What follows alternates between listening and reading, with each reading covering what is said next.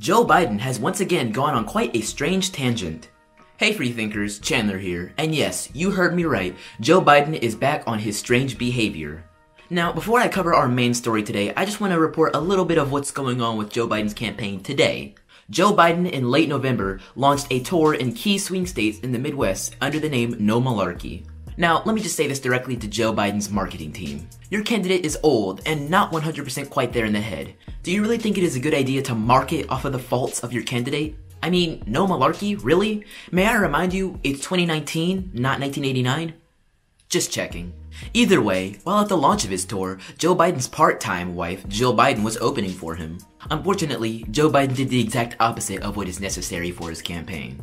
While Jill Biden was theatrically motioning with her arms, Joe Biden decided to let his wild side out and bite or nibble or whatever her finger. Live on stage in front of an admittedly small crowd. Unfortunately for the Biden campaign, this story made the rounds on Twitter. Further pushing the idea that Joe Biden is just out of touch and creepy for 2019's tough standards for personal space and affection. See my video on Girl Scout hugs and you'll understand. Now that we've gotten past that, let's get to the even funnier part of the story. Yes, it gets better. Now you folks may remember a couple months ago when Joe Biden went off on a tangent about a man named Corn Pop and that he was a bad dude, right? Well, that was the most marketed piece of that speech, but it turns out during the speech that there are more interesting portions. And in my own humble opinion, this is so much worse than Corn Pop. Joe Biden decided to discuss a summer of his when he was a lifeguard, for some reason, and also somehow allowed children to sit on his lap?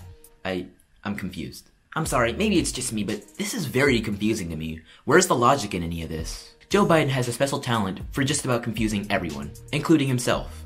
You know what? I'll play that portion of the speech, so maybe you and I can understand it just a little better. And by the way, you know, I sit on the stand, and it get hot. I got a lot of, I got hairy legs that turn, that that that that that that turn uh, um, blonde in the sun. And the kids used to come up and reach in the pool and rub my leg down so it was straight and then watch the hair come back up again. They'd look at it. So I learned about roaches. I learned about kids jumping on my lap. And I've loved kids jumping on my lap. And I've loved kids jumping on my lap. What? Okay, so is it just me or did he make absolutely no sense there, even after watching it a couple times? I mean, I've listened to it a few times, and after a few minutes of talking, it just seems as if he's in a semi-catatonic state, picking through memories while we sit here listening to him narrate. It's frankly worrisome. Many have commented on Joe Biden's questionable health state, both mental and physical health state. And no matter how hard his team tries, there's always something that seems to mess it up. Could it simply be that Joe Biden's days as a politician are over?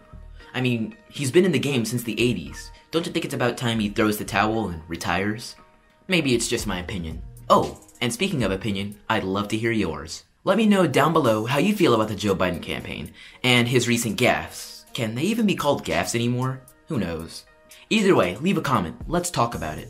Oh, and while you're down there, make sure to hit that like button and subscribe if you've enjoyed the video and want to see more.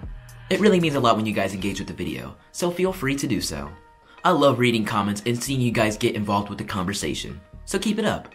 And speaking of conversation, this YouTube channel has an official affiliate Discord server where you can meet and speak to other viewers of the channel and have active debates. We have a very active debate channel where both policies, politics, and other things like ideologies are discussed every day. If you'd like to get in the conversation, just download the Discord app and sign up, then use the code you see on screen now to join the chat group. Oh, and also, don't worry, Discord isn't only for gamers. It's a fantastic chat service where people can make groups of people that have similar ideas and have them speak to each other. So if you'd like to join in the conversation, do so now. If you'd like to support the growth of this channel, be sure to check out my donor box. Head over to donorbox.org slash support dash Chandler. Also be sure to follow me on Twitter and Instagram to keep up to date with what I'm doing. Aside from all that, I'll catch you next time, free thinkers. Don't forget to spread the virus of intelligence.